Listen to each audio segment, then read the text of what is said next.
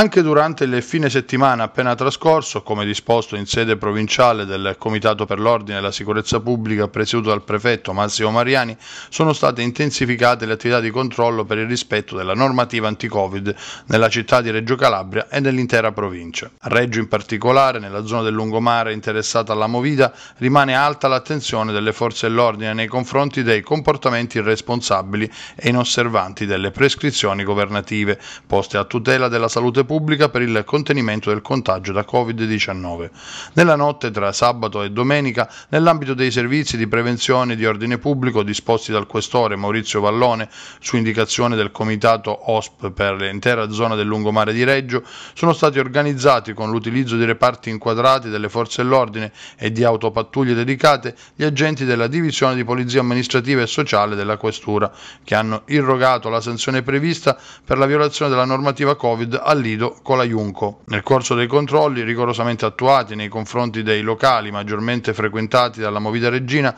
è stato infatti verificato che presso il locale sussistevano situazioni di pericoloso assembramento di persone durante le serate danzanti. È stata così disposta la sanzione accessoria della chiusura per 5 giorni. Altri 8 esercizi commerciali invece sono stati controllati, si tratta di bar, pub, ristoranti del centro della città di Reggio e anche nel resto della provincia, presso i quali è stato verificato il pieno rispetto delle prescrizioni normative. Ovviamente rammentiamo l'importanza di attuare comportamenti responsabili nel privato ed in società da parte dei cittadini e degli esercenti delle attività produttive, proprio per garantire a tutti insieme insieme la tutela del bene comune, la tutela della salute pubblica in un momento in cui l'emergenza sanitaria è ancora in atto.